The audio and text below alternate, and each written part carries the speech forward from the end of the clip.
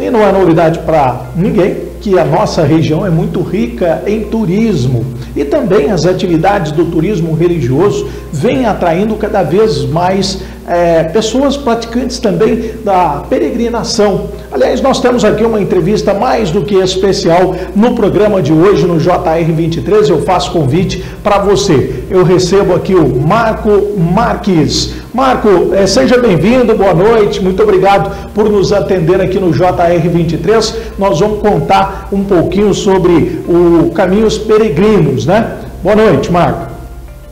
Boa noite, Samuel, muito obrigado pela participação. A gente vai dar um pouco aí tanto ecológico também como da nossa região. Tem um potencial maravilhoso aqui na cidade de Franca, Claraval, Ibiraci. Enfim, a nossa região é rica e Caminhos Peregrinos vem desbravando aí. Nós já temos mais de 30 rotas aonde você, é, a sua mãe, o seu pai pode estar peregrinando conosco, né? Então, eu falo que é um convite muito bacana. Como já dizia Hipócrates, é, caminhar é um bem para a sociedade. Então, se você se coloca a caminho, a, a, caminhada te traz inúmeros benefícios. Esses benefícios a gente pode ir pautando depois ao longo da evolução de cada participante, né? Mas estamos aí. O Caminhos Peregrinos nasceu com esse intuito de mudar a rotina, de fazer você sair da rotina para que você possa caminhar um pouco conosco. Bacana, legal. Nós vamos falar bastante sobre esse assunto, né? O nosso convidado especial, o Marco, está aqui justamente para falar sobre é, esses caminhos, né? Esses trajetos, inclusive do calendário que está definido. Nós temos imagens, vamos colocar algumas imagens, inclusive são é, imagens belíssimas, né? E são imagens aqui da nossa região. Tudo acontece na nossa região, Marco. Tudo na nossa região, Samuel. Essas imagens que vocês estão vendo aí especificamente foram imagens coletadas ali na região de Franca a Ibiraci e essa exclusivamente agora próximo a Pedregulho. Essa daqui próximo a Delfinópolis, tá? Que é uma região muito rica também, uma paisagem, uma natureza exuberante. E Samuel, é interessante falar também que a peregrinação ela já é milenar, algo que acontece há muitos anos, né? E temos peregrinos aí que fazem a caminhada lá na, na Espanha, e, e, entre Espanha e França, o caminho de Santiago de Compostela, né? É importante dizer que a nossa região é uma região muito bela e muito propícia para que você possa se preparar, treinar para esses caminhos, né? Não somente para o caminho de Santiago de Compostela, como também o caminho da fé, ou o caminho de Carnaval, de Rio Grande do Sul. Então, são assim, é, belas rotas, belas trilhas, em que o Caminhos Peregrinos prepara tudo para você e prepara você também fisicamente, espiritualmente, para que possa estar participando e aproveitando cada paisagem, cada momento, cada minuto dessa região. Essa imagem específica é de uma rota no Peixoto, ali na, na antiga vila do Peixoto, que temos ali paisagens magníficas, né, é, dessa região também. E tem uma estrutura, né, Marco? Tem acompanhamento também, né? Com toda a preparação é, por parte da organização, vocês dão uma assistência, né? Nós temos os guias preparados, todos eles se comunicam via rádio a todo momento, carro de apoio, aonde pode estar levando uma mochila, uma água, um lanche.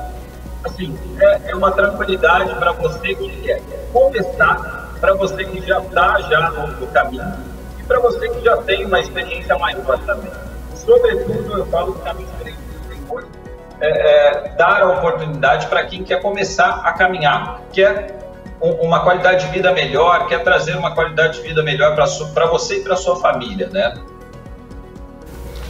Bacana. E é claro que a gente tem aqui também, né, 7 horas e 20 minutos, no JR 23, trazendo todas as informações.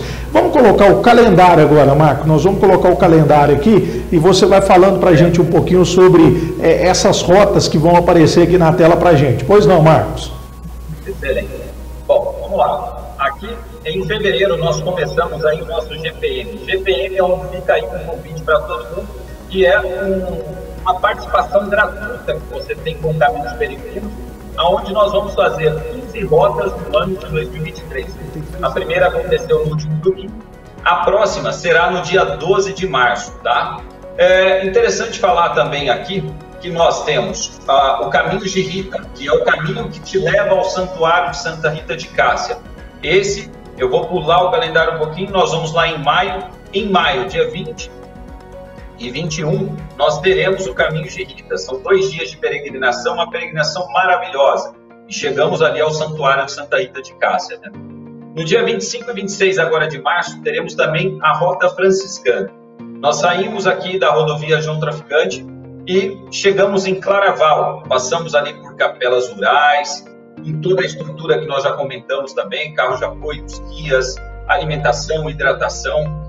E no mosteiro de Claraval, nós almoçamos, pernoitamos, para que no, no domingo, logo bem cedo, a gente já tome o nosso café da manhã e saímos em peregrinação, Samuel, para uma rota bastante interessante.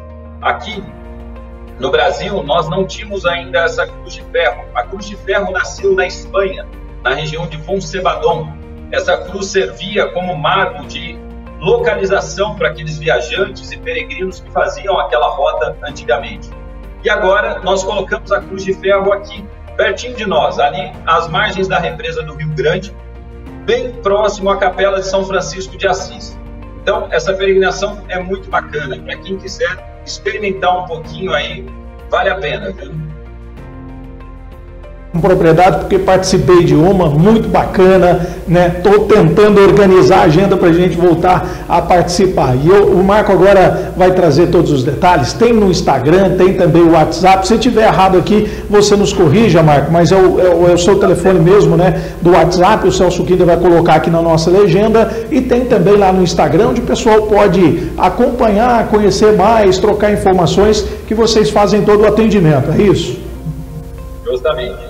Nosso Instagram, Instagram do Caminhos Peregrinos tem ali todas as informações é, básicas para que você possa se inteirar e depois também pode entrar em contato conosco que a gente vai dar todo o suporte e atenção para que você possa iniciar, iniciar esse caminho, essa caminhada que pode mudar completamente a sua vida. Eu falo, falo por mim, porque como educador físico também que sou, é, a caminhada me trouxe aí uma, uma experiência muito bacana, não somente na questão física, Samuel, mas para a vida, porque é um momento de partilha, é um momento de encontro é, é com você mesmo, e para que você possa conhecer uma limitação ou outra, é necessário que a gente saia e, e tenha essa quebra de rotina que é muito bonita. Bacana. Marco Marques, muito obrigado pela sua participação. Mais algum ponto você gostaria de colocar aqui aos nossos internautas, aos nossos telespectadores, Marco? Deixo aí a todos vocês o convite. Você também, Samuel, que venha fazer no dia 25 e 26 de março a Rota Franciscana, que vai passar por locais magníficos. E aí depois é, é um, um pouquinho do mel que nós deixamos aí para que vocês possam voltar e experimentar mais rotas aqui conosco. Bacana. E a gente vai fazer um, um, compromisso aqui, um combinado, digamos assim. Vamos voltar a falar sobre esses passeios, vamos voltar a falar também sobre a experiência, de repente trazer algumas pessoas também para falar com a gente, porque é algo muito bacana e é algo que vem ganhando força aqui na nossa região. Combinado, Marco? Muito obrigado, meu Samuel. E estamos à disposição. Caso precise, pode entrar em contato que a gente vai dar esse suporte a vocês. Bacana. 7 horas e 25 minutos. Obrigado aí, Marco.